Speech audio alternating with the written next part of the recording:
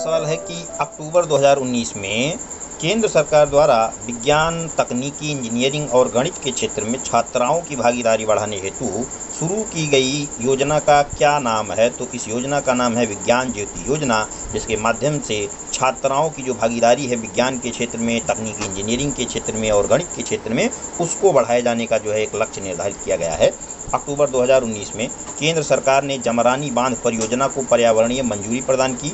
यह परियोजना उत्तराखंड में किस नदी पर निर्मित की जा रही है। तो उत्तराखंड के गोला नदी पर जो है यह परियोजना निर्मित की जा रही है। परियोजना का नाम है जमरानी बाँध परियोजना। और अगर सवाल ये पूछा जाए कि जमरानी बाँध परियोजना निम्नलिखित में से किस राज्य में निर्मित की जा रही है तो उत्तराखंड राज्य में निर्मित की जा रही है।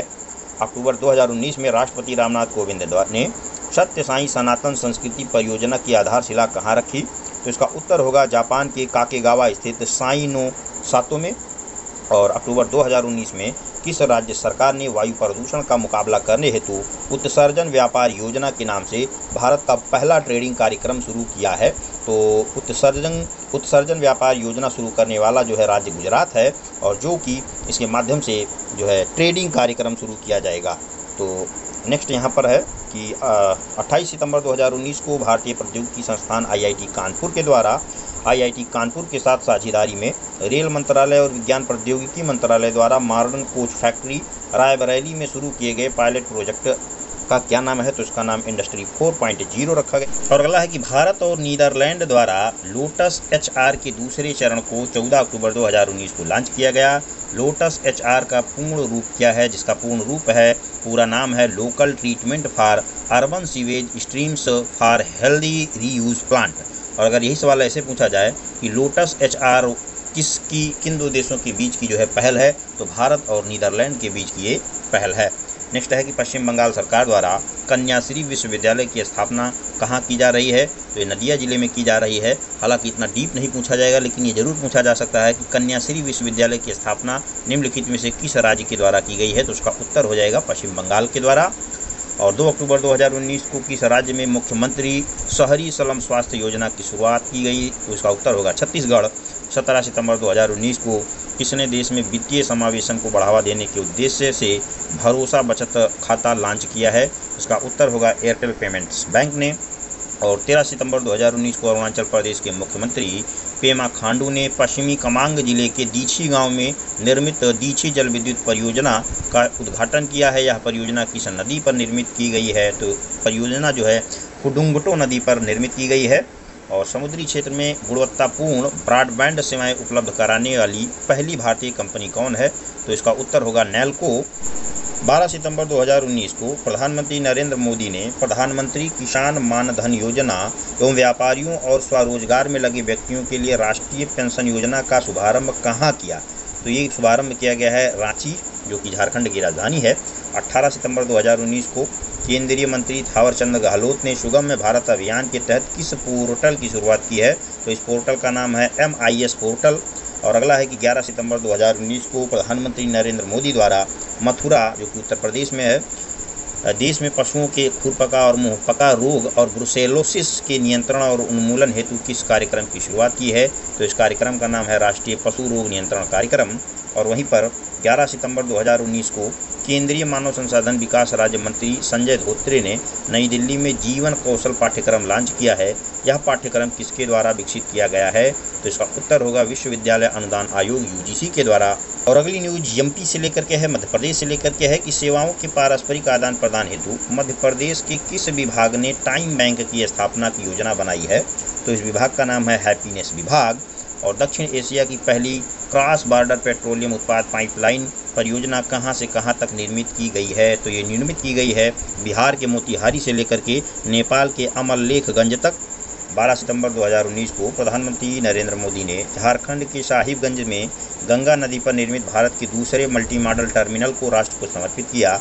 इस टर्मिनल का निर्माण किस परियोजना के तहत किया गया है? तो इसका निर्माण जलमार्ग विकास परियोजना के तहत किया गया है।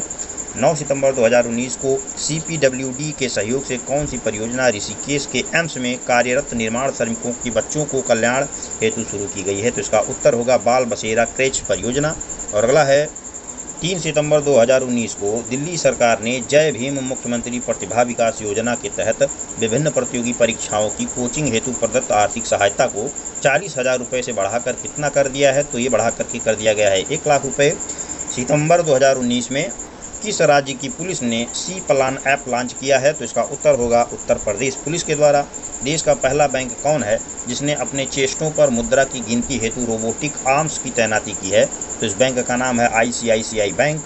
और अगला है कि 30 अगस्त 2019 को केंद्रीय स्वास्थ्य और परिवार कल्याण मंत्री डॉक्टर हर्षवर्धन ने नई दिल्ली स्थित किस अस्पताल में स्पोर्ट्स इंजरी इंजरी केंद्र विस्तार परियोजना की आधारशिला रखी है, यानी कि जो है नई दिल्ली के सफदरगंज अस्पताल में जो है स्पोर्ट्स इंजीनियरिंग सेंटर जो है खोले जाने की परियोजना की परियोजना का जो विस्तार किया गया है, यानी कि स्पोर्ट्स इंजीनियरिंग केंद्र जो है ये दिल्ली में पहले भी प्रचलित था। इसका अब और एक केंद्र जो है सफदरगंज अस्पताल में खोला जाएगा। 28 अगस्त 2019 को केंद्रीय मानव संसाधन विकास मंत्री रमेश पोखरियाल निशंक ने स्कूली शिक्षा को सुदृढ़ करने के उद्देश्य से विश्व के सबसे बड़े ऑनलाइन जंक्शनों में शामिल एकीकृत ऑनलाइन जंक्शन स्कूल एजुकेशन सगुन का शुभारंभ किया है। देखिए, इसका पूरा नाम है एकीकृत ऑनलाइन जंक्शन स्कूल एजुकेशन सगुन। तो इसका शुभारंभ कहाँ पर किया है? इसका शुभारंभ नई दिल्ली में किया है। 28 अगस्त 2019 को किस देश ने विश्व का पहला फेशियल बायोमेट्रिक डेटा आधारित नाविक पहचान दस्तावेज़ लॉन्च किया है? तो इसका उत्तर होगा भारत। 30 अगस्त 2019 को किस राज्य सरकार ने राज्य के गरीब पर, राज्य के गरीब परिवारों को सामाजिक सुरक्षा प्रदान करने हेतु मुख्यमंत्री समृद्धि परिवार योजना की शुरुआत की है? तो इसका उत्तर होगा हरियाणा जिन्होंने मुख्यमंत्री समृद्धि परिवार योजना प्रारंभ की है ताकि गरीबों को सामाजिक सुरक्षा प्रदान किया जाए। और अगला है कि केंद्र, केंद्रीय मानव संसाधन विकास मंत्री रमेश पोखरियाल निशंक ने देश भर में बयालीस लाख प्राथमिक शिक्षकों को प्रशिक्षण प्रदान करने हेतु नई दिल्ली स्थित डॉक्टर अंबेडकर अंतर्राष्ट्रीय केंद्र में 21 अगस्त 2019 को किस राष्ट्रीय मिशन का शुभारंभ किया? तो इस मिशन का नाम है निष्ठा, जिसका पूरा नाम है राष्ट्रीय स्कूल प्रधान अध्यापक एवं शिक्षक समग्र उन्नति पहल। 22 अगस्त 2019 को किस मंत्रालय ने प्रोजेक्ट श्योर की शुरुआत की घोषणा की है? तो इसका उत्तर होगा केंद्रीय कपड़ा मंत्रालय। राष्ट्रीय स्वास्थ्य मिशन द्वारा जारी निःशुल्क औषधि कार्यान्वयन योजना रैंकिंग में कौन सा राज्य पहले स्थान पर है? तो इसका उत्तर होगा राजस्थान और रैंकिंग का नाम एक बार पुनः देख लें। इसका नाम है औषधि कार्यान्वयन योजना। ये योजना है। इसके तहत जो है, इस, जो रैंकिंग इसके द्वारा निर्धारित की गई थी, उसमें राजस्थान को पहला स्थान प्राप्त हुआ है। 2 अक्टूबर 2019 से किस राज्य सरकार ने मुख्यमंत्री हाट बाज़ार क्लिनिकल योजना को पूरे प्रदेश में लागू करने का निर्णय लिया है। तो इसका उत्तर होगा छत्तीसगढ़ सरकार। 17 अगस्त 2019 को प्रधानमंत्री नरेंद्र मोदी और भूटान के प्रधानमंत्री लोटे शेरिंग ने मांगदेछू नदी पर निर्मित 720 मेगावाट क्षमता के मांगदेछू पन बिजली संयंत्र का उद्घाटन किया है। यह संयंत्र भूटान के किस ज़िले में अवस्थित है? तो यह संयंत्र भूटान के टोंगसा जोंगखांग ज़िले में स्थित है। हालाँकि सवाल ये नहीं पूछा जाएगा, सवाल ये ज़रूर पूछा जा सकता है कि हाल ही में उद्घाटित मांगदेछू पन बिजली संयंत्र जो है किस कहाँ पे स्थित है या देश का नाम दे सकते हैं तो वो जो है भूटान में स्थित है। और अगला है कि 17 अगस्त 2019 को मणिपुर के मुख्यमंत्री एन बीरेन सिंह ने राज्य के सरकारी स्कूलों को बुनियादी ढांचे में सुधार हेतु फगाडाबा शिक्षा बेहतर बनाओ। देखिए, फगाडाबा ये योजना है, जिसका मतलब होता है कि शिक्षा को बेहतर बनाओ। इसका शुभारंभ किया है। योजना के अंतर्गत पहले चरण में कितने विधानसभा क्षेत्रों में से प्रत्येक में से एक स्कूल का चयन किया जाएगा?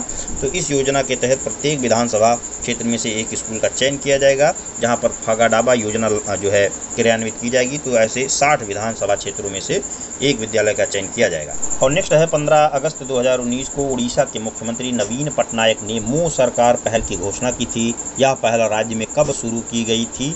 तो ये शुरू की गई थी 2 अक्टूबर 2019 को।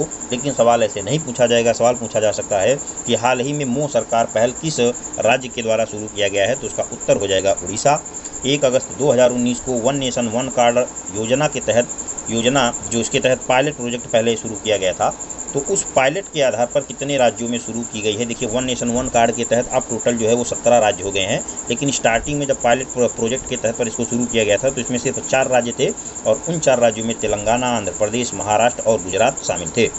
और जुलाई 2019 में केंद्रीय ऊर्जा मंत्रालय द्वारा प्रदत्त जानकारी के अनुसार दो मेगावाट की स्थापित क्षमता के साथ देश में रूपटाप परियोजना की स्थापना में कौन सा राज्य पहले स्थान पर है तो इसका उत्तर होगा गुजरात।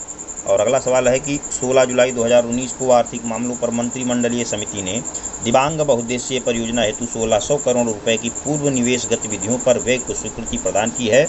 यह परियोजना किस राज्य में स्थित है? तो यह परियोजना अरुणाचल प्रदेश में स्थित है और देखिए यहाँ पर 1600 करोड़ रुपए की जो है वो पहले से ही जो है राशि जो है 1600 करोड़ रुपए की राशि पहले से निवेश कर दी जा चुकी थी। विश्वविद्यालय अनुदान आयोग द्वारा शोध कार्य को बढ़ावा देने हेतु स्ट्राइड, जिसका पूरा नाम है scheme for transdisciplinary research for India developing economy योजना के तहत योजना की देखरेख हेतु किसकी अध्यक्षता में समिति का गठन किया गया था? तो स्ट्राइड की जो है देखरेख के लिए एक समिति बनाई गई थी, जिसके अध्यक्ष थे प्रोफेसर भूषण पटवर्धन। और अगला है कि 14 जुलाई 2019 को उत्तर प्रदेश के मुख्यमंत्री योगी आदित्यनाथ ने लखनऊ में इस्माइल मसाल ज्योति आशीर्वाद कार्यक्रम का शुभारंभ किया। यह कार्यक्रम किस संस्था द्वारा संचालित है? इसका उत्तर होगा इस्माइल ट्रेन। और देखिए, इस्माइल ट्रेन एक संस्था है, ना कि कोई ट्रेन है। तीन अगस्त 2019 को किस राज्य में समाज में लड़कियों की सामाजिक आर्थिक स्थिति को मज़बूत करके बालिका जन्म दर में सुधार लाने हेतु उनकी स्कूल ड्रॉप आउट दर और बाल विवाह को रोकने के उद्देश्य से वहली डिग्री योजना शुरू की गई है। तो ये इसका उत्तर होगा गुजरात। यहाँ पर सवाल ये भी आ सकता है कि हाल ही में वहली डिग्री योजना निम्नलिखित में से किससे संबंधित है? तो लड़कियों के जो है सामाजिक उत्थान से संबंधित है और यह योजना शुरू करने वाला स्टेट गुजरात है। जुलाई 2019 में संयुक्त राष्ट्र पर्यावरण कार्यक्रम के पर्यावरण कार्यक्रम और किस देश ने पारे के घातक प्रभाव को रोकने हेतु एक नई परियोजना शुरू करने की घोषणा की, जिसके तहत एशिया प्रशांत क्षेत्र में एक क्षेत्रीय पारा निगरानी प्रयोगशाला नेटवर्क की स्थापना की जाएगी। तो इसका नाम है जापान। और पारी के घातक प्रभाव को रोकने के लिए स्थापना की जाएगी। और अगला है कि सर्वत सेहत बीमा योजना नामक प्रमुख सार्वभौमिक स्वास्थ्य बीमा योजना 1 जुलाई 2019 को किस राज्य में शुरू की गई है? यहाँ पर ध्यान रखिएगा, ये सर्वत सेहत बीमा योजना है, नाम थोड़ा वहाँ पर स्पष्ट मेंशन नहीं है। तो ये शुरू करने वाला राज्य है पंजाब। और अगला है कि गोदावरी नदी पर स्थित कलेश्वरम सिंचाई परियोजना किस राज्य में स्थित है? ध्यान रखिएगा, यहाँ पर कलेश्वरम लिखा हुआ है। कलेश्वरम सिंचाई परियोजना, ये बेहद ज़्यादा चर्चा में भी थी उस समय। तो ये किस राज्य में स्थित है, कलेश्वरम सिंचाई परियोजना, जो कि तेलंगाना राज्य में स्थित है। और अगला है कि डगमरा जल विद्युत परियोजना, जिसकी क्षमता 130 मेगावाट है, किस राज्य में स्थित है? तो ये बिहार की सुपौल जिला में स्थित है। और बीपीएससी के पॉइंट ऑफ़ व्यू से ये सवाल बेहद ज़्यादा महत्वपूर्ण है। और एक सवाल यहाँ पर ये भी पूछा जा सकता है कि डगमरा जल विद्युत परियोजना, इसकी क्षमता कितनी है? तो इसकी क्षमता 130 मेगावाट है, चूँकि बिहार में इस तरह के सवाल पूछने का ट्रेंड भी देखा जाता है। जून 2019 में बिहार सरकार द्वारा शुरू की गई मुख्यमंत्री वृद्धजन पेंशन योजना के तहत 60 वर्ष से अधिक आयु के गरीब लोगों और 80 वर्ष से अधिक आयु के लोगों को प्रति माह कितनी राशि प्रदान की जाएगी? तो 60 वर्ष से अधिक आयु के जो गरीब लोग होंगे, उनको चार सौ रुपये प्रति माह पेंशन मिलेगा। वहीं पर 80 वर्ष से जो अधिक होंगे, उनको पाँच सौ रुपये प्रति माह जो है पेंशन प्राप्त होगा। और नेक्स्ट है कि व्यापारियों के लिए शुरू की गई पेंशन योजना के अंतर्गत केंद्र सरकार प्रतिमाह लाभार्थियों को न्यूनतम कितनी राशि पेंशन के रूप में प्रदान करेगी? तो यहाँ पर तीन हज़ार रुपये प्रतिमाह जो है, न्यूनतम राशि प्रदान की जाएगी पेंशन के तौर पे। और अगला है, जून 2019 में किस राज्य में महिलाओं की सुरक्षा हेतु पिंक सारथी वाहन शुरू किया गया? सवाल पूछा जा सकता है कि पिंक सारथी वाहन किस राज्य की पहल है? तो इसका उत्तर होगा कर्नाटक। और अगला है कि कांधला गोरखपुर एलपीजी पाइपलाइन परियोजना हेतु बनाए जाने वाले संयुक्त उद्यम में आईओसीएल, बीपीसीएल और एचपीसीएल की हिस्सेदारी कितने प्रतिशत है? तो आईओसीएल की हिस्सेदारी 50 प्रतिशत है, बीपीसीएल की हिस्सेदारी 25 प्रतिशत है और एचपीसीएल की हिस्सेदारी 25 प्रतिशत है। और ये परियोजना है Kandhla, Gorakhpur, LPG gas line, LPG pipeline परियोजना। उन 2019 में किसने भारत में अपना पहला इंटरेक्टिव गेम सो कन्फेंटी लॉन्च किया है? तो इंटरेक्टिव गेम सो कन्फेंटी लॉन्च करने वाली कंपनी है फेसबुक और फेसबुक आप जानते होंगे कि एक सोशल मीडिया प्लेटफॉर्म भी है। कचरे के ऊर्जा संयंत्र से बिजली प्राप्त करने वाली भारत की पहली मेट्रो परियोजना कौन है? तो इसका नाम है दिल्ली मेट्रो कारपोरेशन हमारे अन्य वीडियोस देखने के लिए आप यूट्यूब पर एग्ज़ाम स्टडी एक्सी सर्च करें। वहाँ पर, पर आपकी परीक्षा के लिहाज से बहुत सारे वीडियोज़ बहुत सारे जो है और तथ्यों की जानकारी वहाँ पर दी गई है। और और अधिक प्लेलिस्ट देखने के लिए ऊपर आई बटन पर आपको जो है लिंक मिल जाएगी, पूरी की पूरी प्लेलिस्ट मिल जाएगी, वहाँ से आप वीडियो तक जा सकते हैं।